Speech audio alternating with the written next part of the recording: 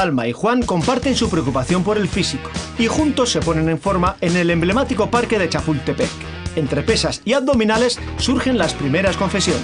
Una cosa que me gusta mucho de Salma es que la veo una mujer muy coqueta, con lo que nunca descuidará su figura. Entonces ahí ya gana puntos.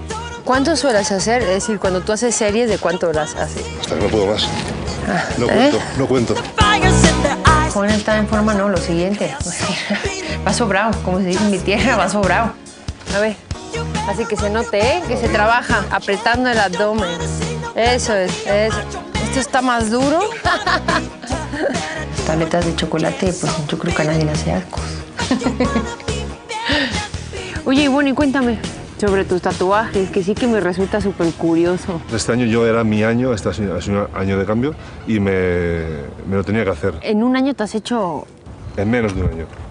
Ay, no, güey, pues sí, está cañón, ¿eh? Sí, yo empecé en agosto, empecé en agosto. La verdad que ha sido, ha sido muy intenso. Si quieres te los puedo explicar. los Sí, por favor. Es, es muy sencillo. ¡Madre santa!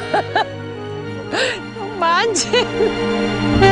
Yo creo que Juan viene a conquistarme, sí, sí viene volcado.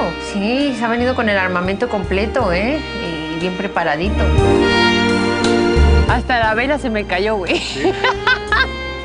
Si quieres te los puedo explicar. Dale, dale. Hay una, una- una idea que tengo yo que cuando tú cometes un acto, ese acto tiene una consecuencia y si luego quieres, me- quieres arreglarlo, no puedes echar el tiempo atrás. Entonces de ahí sale esta frase de el tiempo ni espera ni perdona. Sí, es que no se puede futurear, hay que vivir el momento y disfrutarlo. Sí, yo he aprendido mucho de eso. Para mí todo tiene siempre un significado.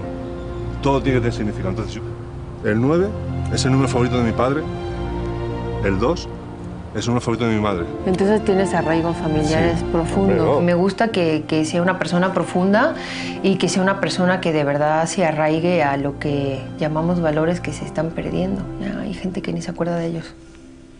El león, este es un león que me tatué, fue el primer tatuaje que me hice. Lo ¿Te consideras el rey de la selva? Me considero protector. Yo como hombre me considero un poquito chapado a la antigua. Un hombre caballeroso, no sé si está la palabra bien dicha, sería así, caballeroso, con educación de protección hacia la mujer, de cuidarla. Yo creo que en esa, en esa parte soy más clasista.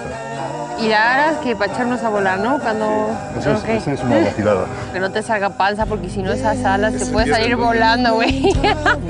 Hemos podido hablar y conocernos un poquito más y hacer un poquito más de, de confraternización.